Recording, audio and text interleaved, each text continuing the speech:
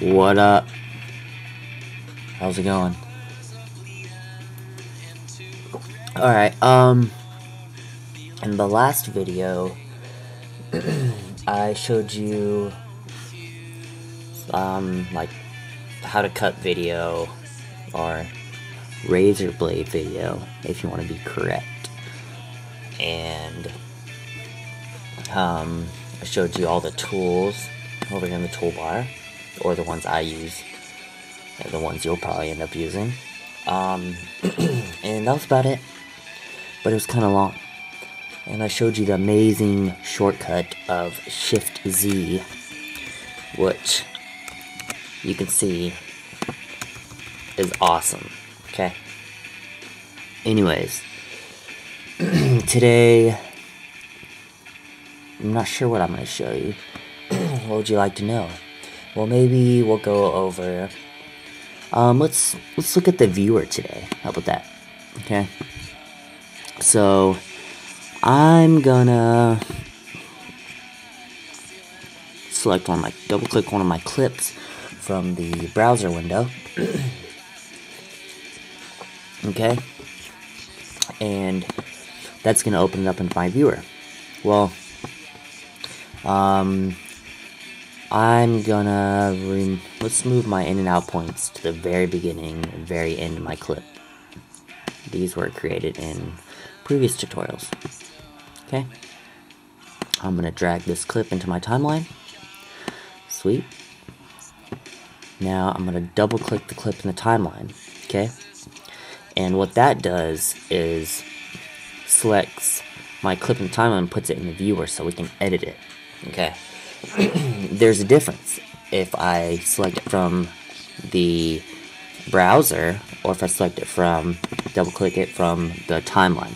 There's a difference. There are two different instances and you want to make sure you have the right one selected. Otherwise, the work you're doing will not be in the right spot.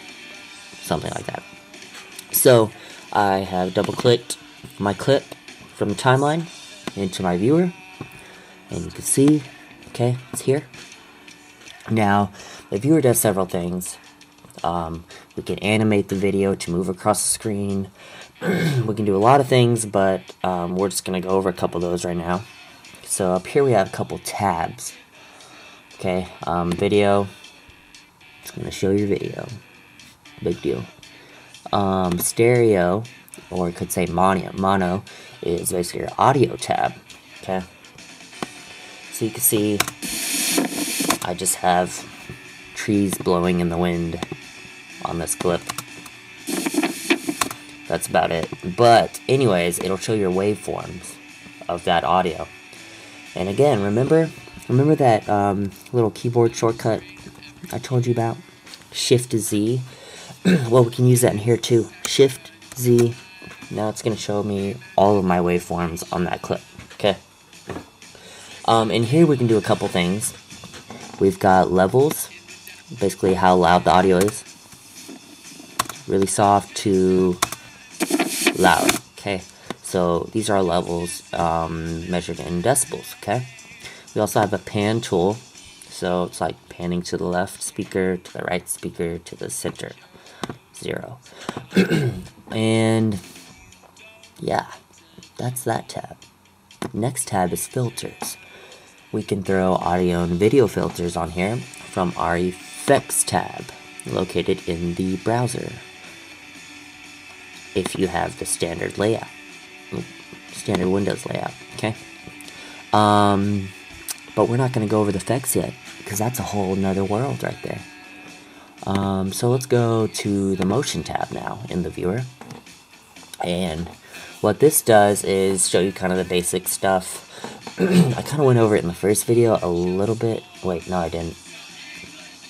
No I didn't. So we're going to go over it right now. So what this does is um, just all the basic parameters of the video. So first we have scale.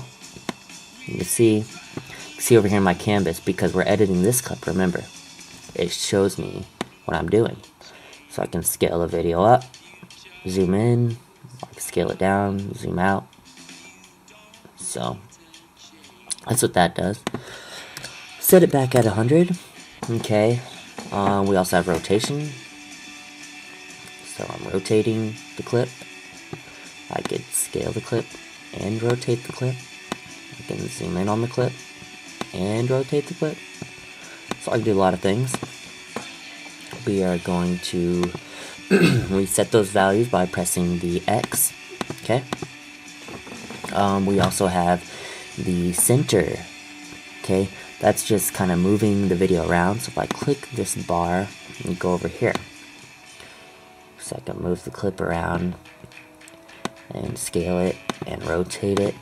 Okay. So we can do all these. I'm to reset the values by pressing the X. um, you don't need to worry about the anchor point right now. Actually, let's go over it. The anchor point is going to be where the clip scales from and where the clip rotates from. Does that make sense? Probably not. So, right now the anchor point is at 0, 0, which is the center. Let's go to, I don't know, 100 in the X and 0 in the Y. What does that do? Well, you can see, now it scales down to the right because we're going 100 in the x-axis, positive. and you can see that anchor point right here. And I can also move that anchor point around. Let's move it to the corner right here. Now let's scale down the clip. So now you can see it scales down from that corner.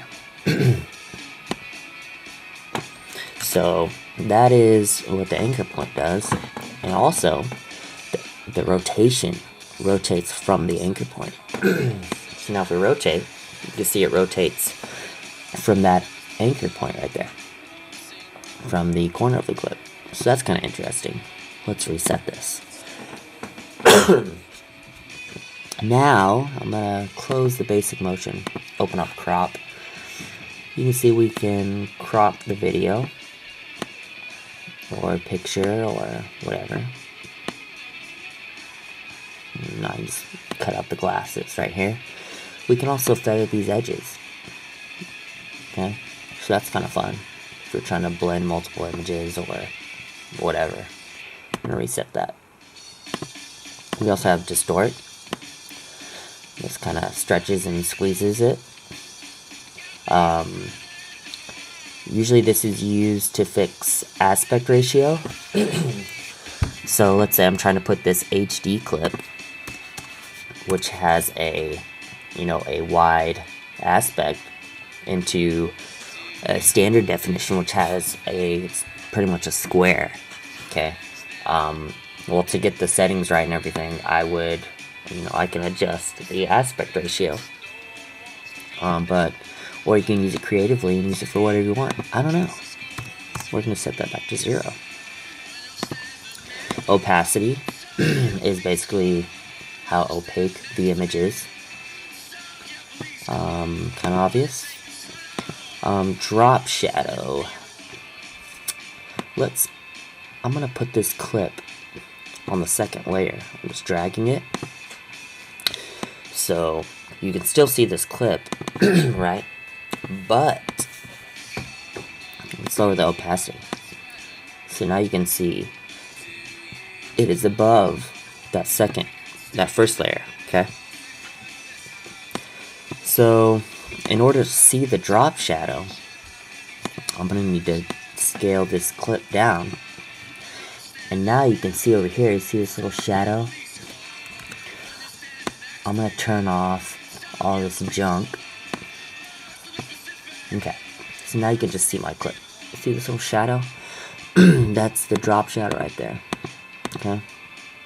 We can How far it is. We can rotate it. We can make it softer. We can lower the opacity. so if you're trying to overlay stuff and get some cool junk like that, you can use a drop shadow. I don't think I ever used that.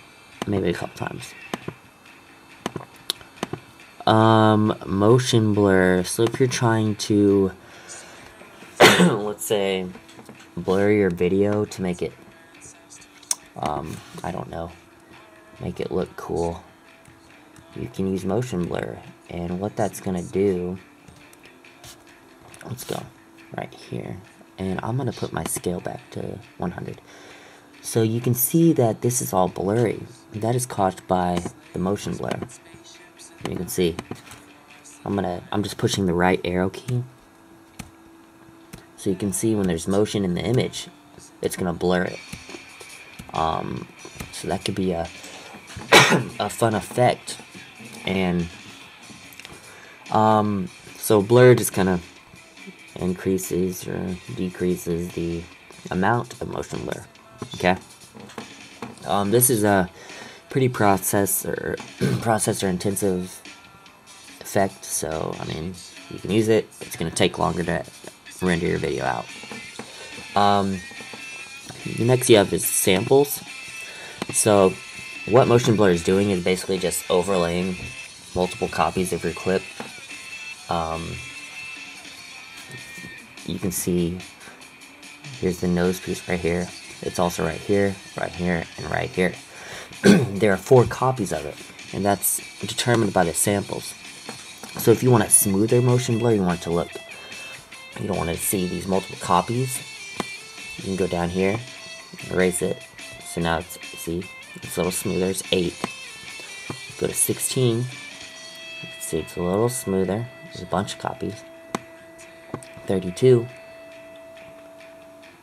can see okay, compared to 2.